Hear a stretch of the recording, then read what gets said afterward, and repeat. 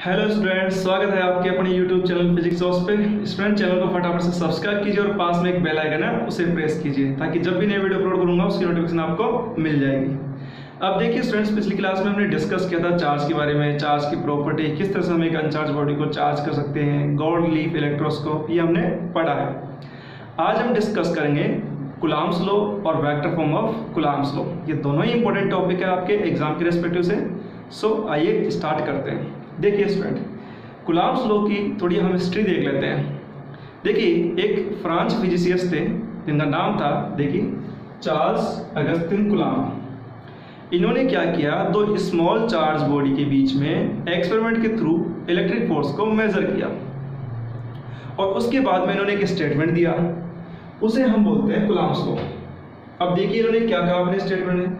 The force of attraction और repulsion देखिए attraction और रिपल्सन बोला हुआ है ना तो समझिए इसको कैसे। हमें पता है, जब भी कोई दो सेम चार्ज की बॉडी होती है, उनमें क्या लगता है? रिपल्सन और अपोजिटिव चार्ज बॉडी में क्या लगता है? अट्रैक्शन दैट्स व्हाई यहाँ बोला गया अट्रैक्शन और repulsion the force of attraction और repulsion between two stationary point charge is proportional to product of charges and inversely proportional to square of distance to square of distance between them अब देखिए, इसको हम समझ लेते हैं। तो देखिए, हमने क्या किया? दो चार्ज कंसिडर किए Q1 और Q2 ठीक है? और दोनों को जो बीच की डिस्टेंस हमने कंसिडर की, वो कंसिडर की स्टूडेंट दोनों की जो डिस्टेंस है, वो हमने कंसिडर की है। मान लीजिए डिस्टेंस है R ये लीजिए R अब देखिए, दोनों चार्ज पे एक दूसरे के कारण क्या लगेगा? फोर्स लगेगा। तो देखिए force on Q1 due to Q2 that is denoted by F12 vector और force on Q2 due to Q1 is F21 vector इस डायरेक्शन में और दूसरा, इस डायरेक्शन में।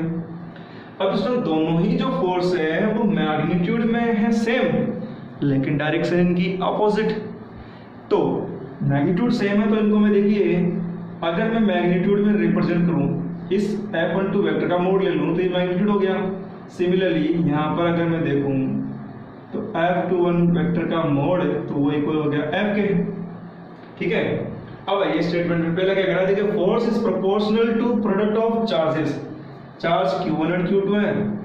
तो force force proportional Q1 and Q2 का प्रोडक्ट के। ठीक है? तो मैंने कर दिया। पहली बात तो ये। दूसरा पॉइंट क्या है? जो फोर्स है, वो इन दोनों के बीच में डिस्टेंस है क्या है? R उसके स्क्वायर के इनवर्सली प्रोपोर्शनल है। ये स्क्वायर के इनवर्सली कर दिया। अब इन दोनों का मतलब समझिए। अगर चार्ज की वैल्यू बढ़ती है तो फोर्स भी बढ़ता है।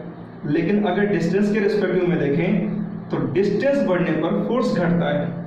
ये तो आप समझ भी सकते हो। दो बॉडीज है चार्ज बॉडी है दूर दूर लेके जाऊँगा तो इनके बीच में फोर्स की वैल्यू घटेगी। क्यों? डिस्टेंस बढ़ रही है तो इनके बीच में जो फोर्स का इन्फ्लुएंस होगा वो कम हो जाएगा, ठीक है? तो समझ गए इस चीज़ को?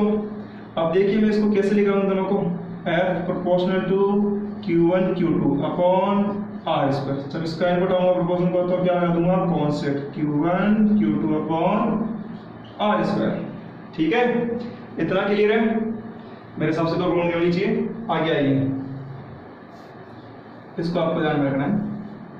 आगे देखिए, यहाँ पे जो k है, वो है कांस्टेंट लेकिन ये यूनिवर्सल कांस्टेंट नहीं है। इसकी वैल्यू डिपेंड करती है किस पर? Depends on depends on medium medium ध्यान रखिए के की वैल्यू कितनी होती है? कोई पर्टिकुलर वैल्यू होती है न्यूमेरिकल वैल्यू वो होती है 9 इंटू टेन की पावर 9 यूनिट क्या निकलेगी? देखो यहाँ से के की newton metre square newton, metre square और कौन गुलाम नीचे जाएगा तो गुलाम स्क्वायर। अभी जो वैल्यू है ये है बच्चों वैक्यूम और फ्री स्पेस यानी एयर वैक्यूम और एयर दोनों के लिए यही वैल्यू होती है nine into ten power nine आपको ध्यान रखना है इसको याद करना है फिक्स सही है, ठीक है? वैसे एयर के लिए थोड़ी सी चेंज होती है, लेकिन इतनी सी चेंज नहीं होती माइनर से चेंज होता है सो हम सेम वैल्यू यूज़ करते हैं, ज़्यादा डिफरेंस नहीं देखते इसमें, ठीक है? चलिए आगे थोड़ा और देख लेते हैं, उससे पहले हल्का सा एक रिवीजन देख लेते हैं इसमें। देखो क्लास लॉ में क्या कहा गया? जो फोर्स होगा, दो चार्ज के बीच में, दोनों चार्जों के प्रोडक्ट के तो प्रोपोर्शनल होगा। तो देखिए, ठीक है? और जो उनके बीच में डिस्टेंस जो कि आर है, उसके स्क्वायर के इनवर्सनली होगा, ये लीजिए, ठीक है? फिर के को सोल्व तो फोर्स का फॉर्मूला क्या आ गया? F equal to K Q one Q two upon R square ये आ गया। इसके बाद हमने देखा के की वैल्यू क्या होती है? ये होती है नाइन इंटू टेन की पावर नाइन चलिए, आइए थोड़ा और आगे देखते हैं। इससे पहले स्टूडेंट्स आप एक काम करिए कॉपी और पेन निकाल के इसको नोट कर लीजिए। बिल्कुल प्रॉपर तरीके से स्टडी करूँगा स्टूडेंट ताकि आप प्रॉपर नोट्स बना सको।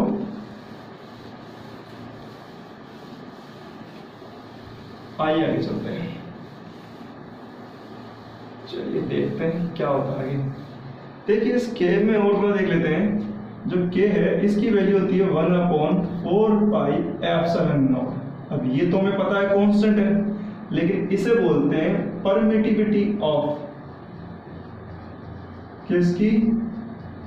परमिटिविटी ऑफ़ वैक्यूम और एयर दोनों के लिए हम यही यूज़ करते हैं एप्सिलॉन नोट ठीक है?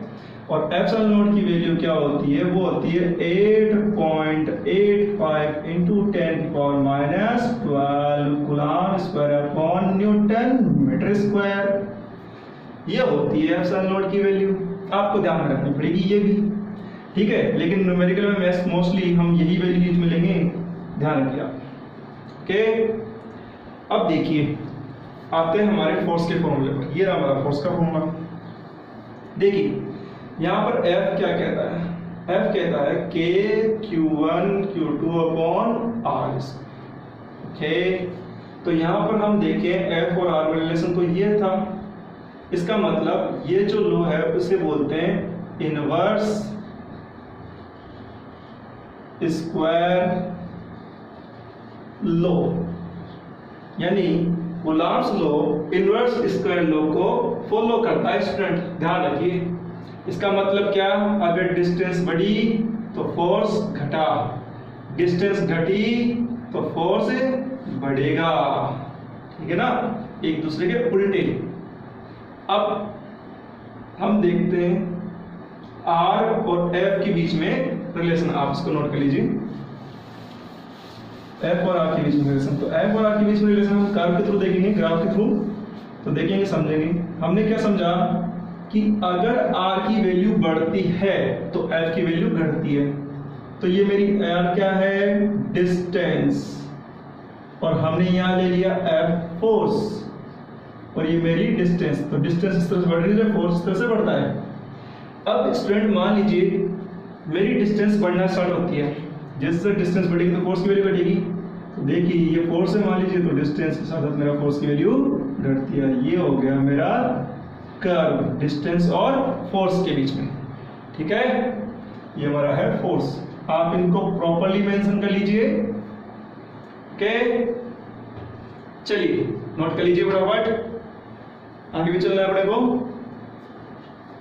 ये हमारा गुलाम्स लो है। तो फिर से एक बार quick revision student Coulomb's law क्या कहता है कि जो कोई भी दो चार्ज बॉडी होती है, उनके बीच में जो फोर्स ऑफ़ अट्रैक्शन और रिपल्सन होता है, वो उन दोनों चार्जेस के तो प्रोपोर्शनल होता है।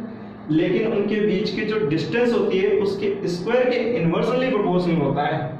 और ये देखिए, ये हमने दोनों लिख दिया ये बाद में सोल्व कर रखा है आपके अंदर ठीक है? तो ध्यान रखना। चलिए आगे। बिल्कुल सिंपल है, कोई टफ नहीं है। चलिए, आते आगे। जो अपना नेक्स्ट टॉपिक है, वो है vector form of Coulomb's law देखिए, उसको देखेंगे अपन। ये थोड़ा important student vector form of Coulomb's law exam में मोस्टली पूछा जाता है बहुत ज़्यादा बार एग्ज़ाम में पूछा गया है। और बच्चे इसमें बहुत ज़्यादा कंफ्यूज भी रहते हैं। तो आप देखिए इसको। Vector form of Coulomb's law को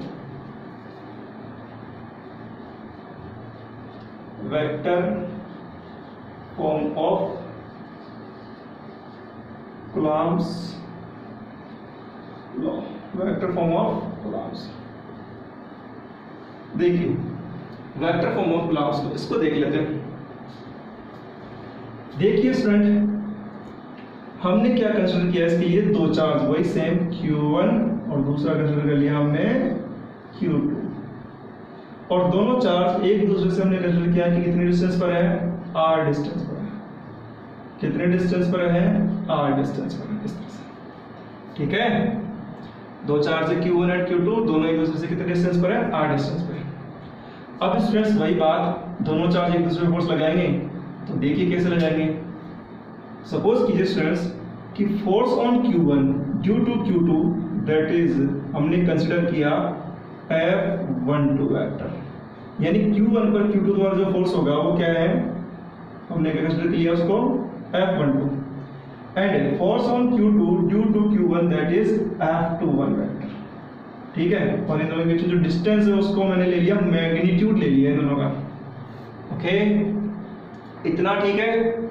चलिए, अब अपन एक छोटा सा पॉइंट देखते हैं। स्टूडेंट जो ये दोनों फोर्स लगते हैं यहाँ पर। ये गुलाम ने कही थी बात जो बता रहा हूँ आपको।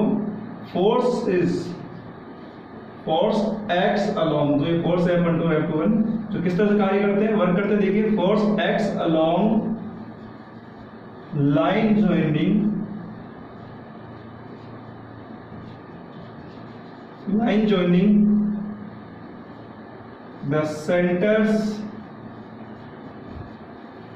centers of charges. इसका मतलब क्या हुआ? देखिए कि ये जो फोर्स वर्क कर रहे हैं Q1 और Q2 पर, ये दोनों फोर्स दोनों चार्ज को जो सेंटर से जो लाइन इनको मिला रही है। देखिए, दो चार्ज है Q1 और Q2 इनके सेंटर्स को जो लाइन ज्वाइन कर रही है ये, इसके अलोंग ही फोर्स लगेगा, इस तरह से, और इस तरह से। ऐसे नहीं कि फोर्स ऐसे लग जाएगा, ऐसे लग जाएगा, इस तरह से लग जाएगा, ऐसा नहीं होगा। इस, इन दोनों को मिलाने वाली जो लाइन होगी, उसी के अलोंग फोर्स लगेगा। इसलिए ये और ये गुलाम ने कहा। अब आइए देखते हैं। स्टार्ट करते हैं अपना कंसेप्ट देखिए force on Q1 due to Q2 force on Q1 due to Q2 यानी इस पर फोर्स निकाल रहे अपन, इसके द्वारा. दैट इज़ F12 तो स्टूडेंट F12 क्या लिखेंगे फोर्स की value K Q1 Q2 upon R square long slow लिख दी. लेकिन स्टूडेंट ये तो सिर्फ़ अभी तक जो लिखा है वो मैग्नीट्यूड है. हमें तो गुलाम लो को वेक्टर फॉर्म में रिप्रेजेंट करना है. तो वेक्टर फॉर्म में तो हमें डायरेक्शन मिलानी पड़ेगी. ठीक है ना? और जो F12 है, इसकी डायरेक्शन क्या है? देखिए फोर्स किस तरफ़ से किस तरफ़ है टू लगा रहा है, किस पर? वन पर। तो कैसे? ऐसे तो किस तरह चल रहा है अपन? इस तरह से। और इस तरह का किसी भी फोर्स की डायरेक्शन को रिप्रेजेंट किसी भी वेक्टर क्वांटिटी की डायरेक्शन को रिप्रेजेंट करता है यूनिट वेक्टर तो इस F12 को रिप्रेजेंट कौन करेगा? ये डायरेक्शन कौन सी होगी? टू टू वन तो क्या हो गया? आर टू वन केप यानी कि एक तरह से देखा जाए तो जो आर टू वन केप है, वो इस फोर्स को रिप्रेजेंट करेगा इस डायरेक्शन में अब स्टूडेंट इस फोर्स का डिस्प्लेसमेंट वेक्टर क्या हो गया? ये भी देख लो डिस्प्लेसमेंट वेक्टर हम कह सकते हैं टू से वन की ओर। तो डिस्प्लेसमेंट क्या होता है? फाइनल माइनस इनिशियल तो फाइनल क्या है? वन और टू क्या है? इनिशियल तो R one vector minus R two vector ये डिस्प्लेसमेंट इस डायरेक्शन में इस F12 के लिए हो गया ये। ठीक है? सिमिलरली अगर हम जैसे F21 की बात करेंगे तो इसका यूनिट वेक्टर किस डायरेक्शन जाएगा? वन से टू की ओर। तो ये R12 के और डायरेक्शन ये। डिस्प्लेसमेंट वेक्टर क्या होगा इसका? R2 vector minus R1 vector वही इनिशियल से फाइनल ठीक है? ये आपको ध्यान में रखना है। ओके इतना क्लियर चलिए। आगे चलते देखिए। स्टूडेंट्स इस फोर्स का जो यूनिट वेक्टर है, वो क्या लिया हमने? आर टू वन के। तो आर टू वन के। ठीक है? अब देखिए स्टूडेंट यूनिट वेक्टर का एक फॉर्मूला होता है। जैसे मान लीजिए ए के बराबर vector of A upon mod of vector A ये फॉर्मूला होता है ए के यानी यूनिट वेक्टर निकालने का। यूनिट वेक्टर का फॉर्मूला क्या है? ए के equal to A vector upon mod of vector A तो यहाँ पर अगर R21 का निकालेंगे तो इसके अकॉर्डिंग क्या हो जाएगा?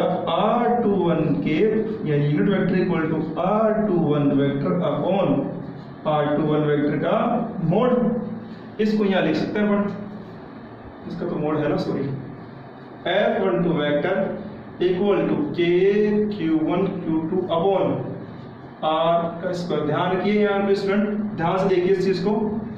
R21 वेक्टर की जगह लिखूँगा? ये ये वैल्यू ठीक है ना? तो R two one vector upon R two one vector का मोड ये लीजिए। ठीक है? चलिए, अब चलते हैं आगे। देखिए स्टूडेंट ये आर वेक्टर ये आर डिस्टेंस है, क्यू टू के बीच की? लेकिन ये डिस्प्लेसमेंट है, इस एफ़ वन टू के लिए कहाँ से कहाँ तक? जब इधर से तो one minus O sorry R one vector minus R two vector जब देखिए मैं इसको क्या लिख सकता हूँ? जो ये आर वन है ये डिस्टेंस है, और हमारा डिस्प्लेसमेंट क्या है? R one vector minus R two vector है। अगर इसका मोड ले लूँगा तो दोनों सेम हो गए ना? तो यहाँ पे लिख सकता हूँ? R one vector minus R two vector का मोड तो F one two vector equal to K Q one Q two upon R one vector minus R two vector का मोड का स्क्वायर ये लीजिए। ये हो गया। अब देखिए, हमारे पास ये तो ऑलरेडी है ही। तो इसको R two one vector upon R two one vector का मोड ये लीजिए आप। ठीक है? इतना क्लियर इसको और ठीक करते हैं। तो देखिए F one two vector equal क्या लिखता हूँ? K Q one Q two upon R one vector minus R two vector का स्क्वायर इनटू इसको क्या लिखता हूँ? देखो ऊपर वाले को। R one vector minus R two vector upon ये क्या हो जाएगा? R one vector minus R two vector का मोड ठीक है?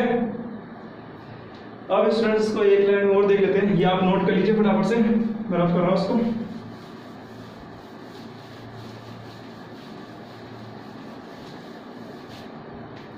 देखिए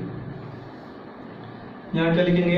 F one two vector equal to K Q one Q two upon देखिए, अब ये ये अगर क्यूब हो गया ना तो R one vector minus R two vector का क्यूब और ये बन गया वेक्टर फॉर्म में R one vector minus R two vector ठीक है? ये पहले फोर्स को हमने रिप्रेजेंट कर दिया वेक्टर फॉर्म में। अब देखिए similarly similarly force on Q2 force on Q2 due to Q1 इसको देखेंगे तो वो क्या है? F टू वन वेक्टर और इसको किस तरह से रिप्रेजेंट कर लेंगे तो कैसे करेंगे? Same K Q one Q two upon यहाँ पर उल्टा कर देंगे तो क्या आ जाएगा? R two vector minus R one vector same ऐसा कैसे लिखना है? और इधर क्या जाएगा? इसका होल क्यूब यहाँ से देखिए। और ये आ गया R two vector minus R one vector ये इसका वेक्टर फॉर्म रिप्रेजेंट कर दिया। ठीक है? अब देखिए स्टूडेंट्स इन दोनों में देखिए, यहाँ पर। देखो, यहाँ तक का, देखो, इस फोर्स में ये और इस फोर्स में ये। यहाँ तक का तो मामला सेम है, क्योंकि ये तो सेम चीज़ है। लेकिन यहाँ देखिए, यहाँ one vector minus two vector यहाँ two vector minus one vector है। इसका मतलब हम समझ सकते हैं कि कि जो दोनों फोर्स है एफ़ वन टू और F two one are equal है एक दूसरे के। लेकिन क्या है डायरेक्शन में अपोजिट है, और वो हम यहाँ से भी देख सकते हैं। देखिए both the forces are equal but opposite in direction ठीक है? तो ये आपको ध्यान रखना है। ये मेन है लास्ट में इसका फाइनल पॉइंट कि दोनों forces both the forces are equal in magnitude but opposite in direction आप इसको नोट कर लीजिए, या आपका vector form of Coulomb's law है। ठीक है? चलिए, अब इसके कुछ पॉइंट्स देख लेते हैं। दो पॉइंट है छोटे छोटे देख लेते हैं उनको। एक तो हमने देख लिया, लेकिन इसको और देखना होगा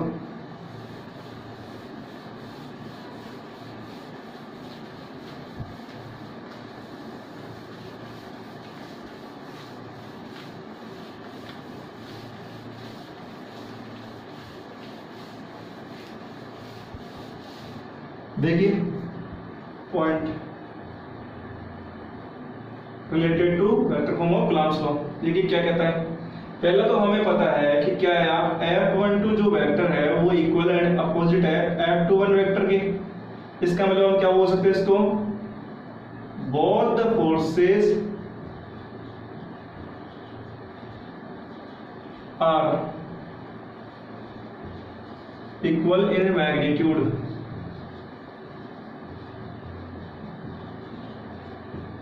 magnitude. But uh, opposite in a direction ये तो आपने देख लिया। सो कुलाम्स लॉ किसको फॉलो करा? देखिए इक्वली मैग्नेटिक अपोजिट डायरेक्शन किसमें होता है और कौन सा दूसरा लॉ है? Newton's law of motion Newton का third law of motion experiment so Coulomb's law obey Newton's third law of motion.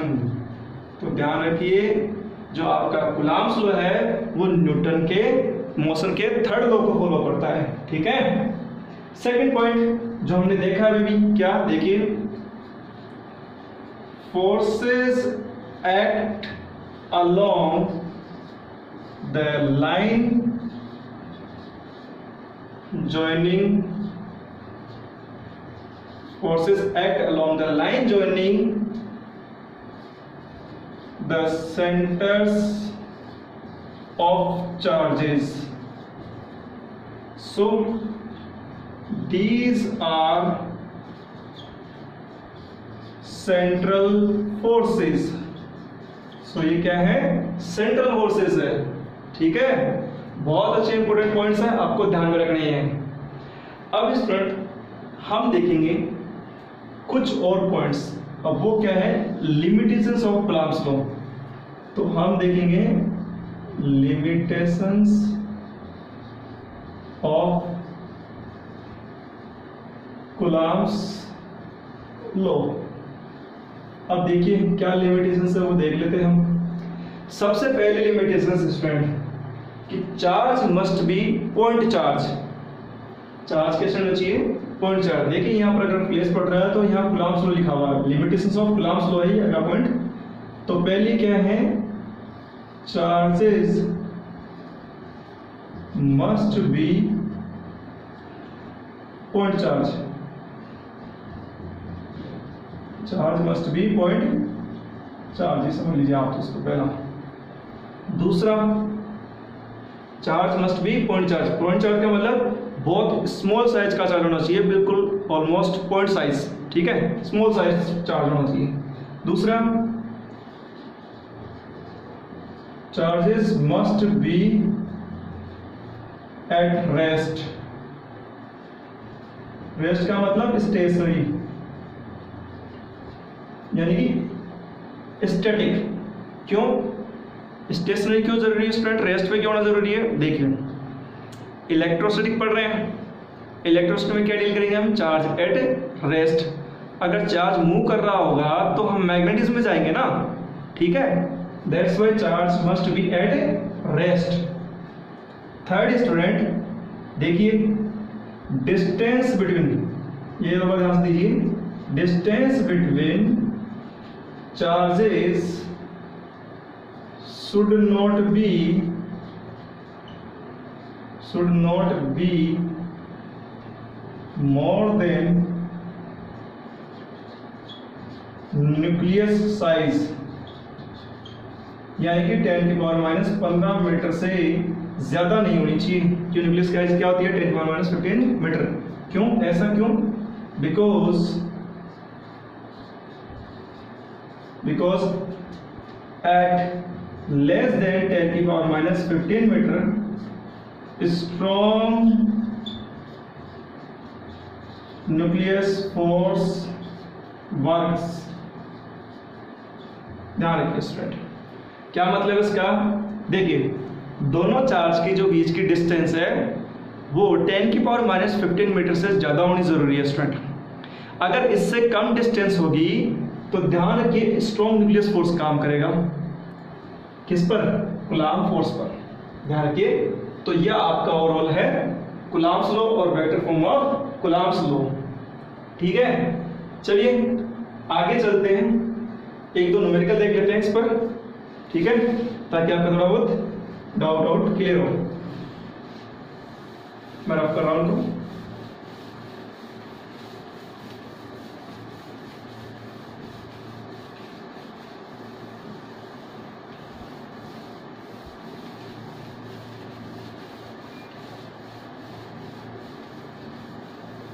सबसे पहले numerical student question number first two protons are separated separated by 1.6 centimetre calculate force calculate force if they are in air, अगर वो air में रखे। हमें force calculate करना है। Proton के बीच में अगर वो एयर में रखे हुए हो तो। तो देखिए, कैसे करेंगे? दो प्रोटॉन कंसिडर करते हैं। एक प्रोटॉन ये रहा, दूसरा प्रोटॉन ये रहा। प्रोटॉन प्रोटॉन दोनों ये लीजिए। दोनों के बीच की डिस्टेंस कितनी? 1.6 सेंटीमीटर मीटर में कन्वर्ट करोगे तो 1.6 पॉइंट सिक्स इंटू टेन की power minus two metre simple ये डिस्टेंस आ गई है। ठीक है? करेंगे क्या अपन? देखिए, कैसे करते हैं। F equal to K Q one Q two upon R square तो F इक्वल टू के की वैल्यू क्या होती है? नाइन इंटू टेन की power nine into Q one की वैल्यू कितनी? देखिए यहाँ पर, समझिए। Q1 क्या है? प्रोटॉन Q2 भी एक प्रोटॉन तो प्रोटॉन के जो चार्ज की वैल्यू होती है, वो होती है 1.6 पॉइंट सिक्स इंटू टेन की पावर माइनस नाइनटीन गुलाम ये हमने डिस्कस किया है पिछली क्लासों में। ठीक है? इलेक्ट्रॉन पे भी सेम होती है। तो दो प्रोटॉन है तो क्या लिखते हैं? 1.6 point six into ten power minus nineteen और दूसरे प्रोटॉन की वैल्यू भी लिख देते हैं। बिल्कुल स्टूडेंट सिंपल फॉर्म में समझा रहा हूँ। टेन की power minus nineteen coulomb R square R की वैल्यू कितनी है? 1.6 पॉइंट सिक्स इंटू टेन की पावर माइनस टू किलोमीटर में लेना अपने को एमकेएस में चलना है स्क्वायर इसको सोल्व करेंगे तो आपका होगा 9 इंटू टेन की power 9 into one point six into one point six into ten की power minus thirty eight base सही मतलब पावर्स जुड़ जाएगी। स्कोर देखेंगे। तो ये हो गया 1.6 पॉइंट सिक्स इंटू वन ठीक है? इंटू टेन की पावर माइनस फोर। इससे दोनों कट कर दो। तो f की वैल्यू कितनी हो जाएगी? नाइन इंटू टेन की पावर नाइन इंटू टेन की power minus thirty eight. Ten की पावर फोर पर जाएगा तो टेन की पावर फोर पॉजिटिव में जाएगा। नेगेटिव से ऊपर पर जाएगा पॉजिटिव में। इसको और सोल्व करोगे तो देखो क्या होगा। Thirteen thirteen minus thirty eight करेंगे तो कितना आ जाएगा? नाइन इंटू टेन की power minus twenty five solve करने पर। और न्यूटन लग जाएगी। यूनिट फोर्स की यूनिट क्या होती है? न्यूटन तो ये आपका आंसर होगा स्टूडेंट ठीक है? ये आपका आंसर आएगा। नाइन इंटू टेन की power minus twenty five newton this is your answer of this question clear student easy था। चलिए, आइए, एक और क्वेश्चन ले लेते हैं। वो थोड़ा ध्यान देने वाला है।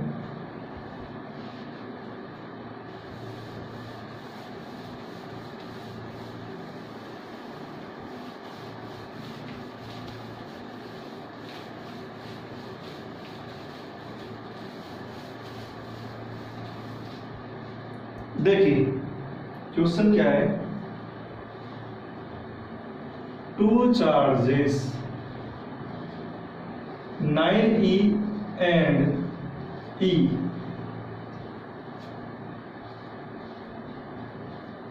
separated by 16 centimeter now a third charge q where should be should be placed in between now a third charge q where should be placed in between these two charges so it remain in equilibrium.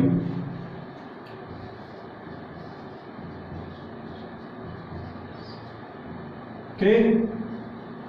अब हमें ये question देखना है। तो देखिए इसको समझते हैं। मान लीजिए एक नाइन ई एरा और e ई एरा इन दोनों के बीच की जो डिस्टेंस है, वो कितनी है? 1.6 सॉरी 16 सेंटीमीटर है। अब इनके बीच मैंने एक थर्ड चार्ज यहाँ रख दिया। हमें नहीं पता डिस्टेंस क्या है। तो इसको मैंने कंसिडर कर लिया x तो ये बची हुई कितनी होगी? 16 माइनस एक्स ठीक है? अब देखिए क्या बोल रहा है। कहा रखे कि ये इक्विलिब्रियम में रहे। तो उसके लिए क्या करेंगे? पहले force between 9e and q. इन दोनों के बीच में फोर्स निकाल लेंगे। और उसको मैंने मान लिया F1 कूलाम के नियम से K Q1 क्या है? 9e Q2 क्या है? Q अपॉन डिस्टेंस कितनी है? X स्क्वायर दूसरा फोर्स बिटवीन फोर्स बिटवीन कितना है? किस किस के बीच में? क्यू एंड ई के बीच में निकालेंगे। उसको मैंने कंसिडर लिया। एफ़ टू वो क्या हो जाएगा? K Q E upon 16 minus X का होल स्क्वायर डिस्टेंस का स्क्वायर करना है ना? अब देखिए, क्या बोल रहा लास्ट में? इट रिमेन्स इक्विलिब्रियम इक्विलिब्रियम के लिए F1 इक्वल टू F2 तो F1 की वैल्यू कितनी है? K nine E Q upon X square K, Q E upon 16 minus X square ठीक है? Q से आप Q फिनिश कर दो E से E हटा दो, K से K हटा दो। बच गया क्या? नाइन अपॉन एक्स स्क्वायर इधर वन अपॉन 16 माइनस एक्स का स्क्वायर तो इसको कैसे लिखता हूँ? क्या मैं लिख दूँ इन दोनों को? थ्री का होल स्क्वायर और ये 1 अपॉन 16 माइनस एक्स का स्क्वायर। ठीक है? इसको सोल्व करेंगे तो आ जाएगा three upon x equal to one upon 16 minus x. इसको और इधर सोल्व करेंगे। देखिए, यहाँ देखते हैं अभी। तो क्रॉस मल्टीप्लाई कर दो 48 minus three x equal to x तो 48 equal to four x so यहाँ से x की वैल्यू कितनी आ गई? 12 सेंटीमीटर इस 12 सेंटीमीटर का मतलब समझो कि जो चार्ज है ना Q, ये 9 ई से कितने डिस्टेंस होना चाहिए? 12 सेंटीमीटर के डिस्टेंस होना चाहिए। यानी 9 ई से ये Q चार्ज 12 सेंटीमीटर के डिस्टेंस पे रखा जाए ताकि ये किसमें आ जाएगा? इक्विलिब्रियम में आ जाएगा स्टूडेंट ऑटोमेटिकली ठीक है? ये आपका क्वेश्चन का सॉल्यूशन ओके चलिए स्टूडेंट नोट कर लीजिए।